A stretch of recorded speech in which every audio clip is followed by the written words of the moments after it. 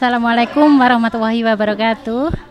Uh, terima kasih banyak. Saya selaku tuan rumah dan sekaligus koordinator peserta dari ibu-ibu bordir mengucapkan banyak-banyak terima kasih terutama kepada Bapak Hindala dan peserta sejawat jajarannya uh, dan ibu-ibu sekalian yang telah antusias untuk melaksanakan bordir dengan semangat, uh, saya ucapkan terima kasih.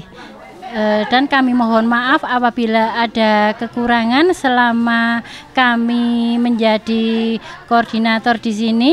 Mudah-mudahan ibu-ibu semua selalu tetap uh, semangat dan di untuk di masa ke depannya lebih maju lagi dan insya Allah kami usahakan untuk ke melanjutkan ke ini melanjutkan ke pelatihan kelanjutan misalnya seperti menjahit dan lain-lain uh, kami ucapkan terima kasih. Wassalamualaikum warahmatullahi wabarakatuh. Waalaikumsalam.